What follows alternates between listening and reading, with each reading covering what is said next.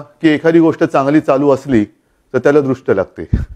आता ही कोणाची दृष्ट लागली हे आपण जाणत जाणताच. आज सुद्धा मला आनंद एका गोष्टीचा झाला त्या नामांतराचा मी तुम्हाला सांगितलं.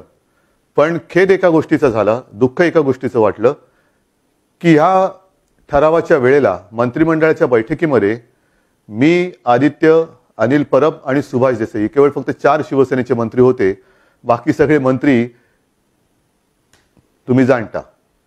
म्हणजे ज्यांनी आतापर्यंत ते करायला हवं होतं करून घ्यायला पाहिजे होतं ते राहिले नामानिराळे दूर राहिले. पण ज्यांचा विरोध आहे असं भासवलं जात होतं ते सोबत राहिले.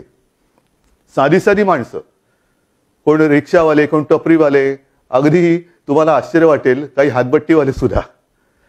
त्यांना शिवसेना प्रमुखांनी चांगल्या मार्गावरती आणलं. माणसं मोठी झाली. आणि मोठी झाल्यानंतर ज्यांनी आपल्याला मोठं केलं त्यांनाच विसरायला लागली. साहेब काळजी करू नका आम्ही तुमच्यासोबत आहोत. तुम्ही फक्त लढा आम्ही सोबत आहोत. कमाल आहे. म्हणजे ज्यांना दिलं ते नाराज.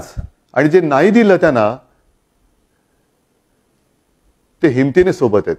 ह्याला म्हणतात माणुसकी याला म्हणतात शिवसेना याला म्हणतात शिवसैनिक. राज्यपाल महोदयांना सुद्धा मला धन्यवाद द्यायचे आहेत की आपण लोकशाहीचा मान राखलात. आपल्याकडे काही जणांनी पत्र दिल्या बरोबर आपण तातडीने चोवीस तासाच्या आत आम्हाला फ्लोअर टेस्ट करायला सांगितली. महत्त्वाचा मुद्दा काय? की जे दगा देणार देणार देणार असे सांगत होते ते सोबत राहिले. पण आपली जी काय नाराजी आहे ती सुरतला जाऊन सांगण्यापेक्षा गुवाहाटीला जाऊन सांगण्यापेक्षा मला स्वतःच्या हक्काच्या घरात वर्षावरती किंवा मातोश्री मातोश्रीवरती येऊन का नाही सांगितलं? की आम्हाला सगळ्यांना बोलायचंय. मी बोललो असतो. केंद्रीय राखीव दल मुंबईमध्ये दाखल होत आहे मिलिटरी सुद्धा उद्या येईल.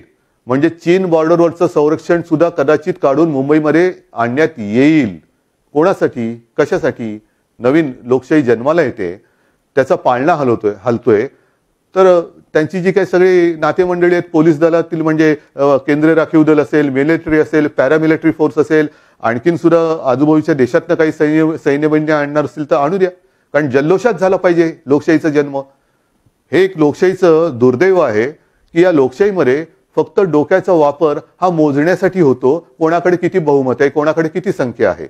शिवसेना प्रमुखांनी आम्हाला इथपर्यंत आणलं पण आम्ही शिवसेना प्रमुखांच्या पुत्राला खाली उतरवला की नाही हे पुण्य घेऊन ते छाती पुढे काढून गावागावात फिरतील. हा त्यांचा आनंद आहे तो आपण हिसकावून घेऊ शकत नाही आणि हिसकावून घेऊ नये. गोळ्याच्या ढेपेला मुंगळा चिपटून बसतो तसं चिपटून बसणारा मी नाही. जसं मी माझ्या मुख्यमंत्री पदाचा आज राजीनामा देतोय त्याचप्रमाणे मी माझ्या विधान परिषद सदस्यत्वाचा सुद्धा राजीनामा देतो आहे. कारण मी पुन्हा येईन असं बोललोच नव्हतो. तरी सुद्धा मी आलो होतो.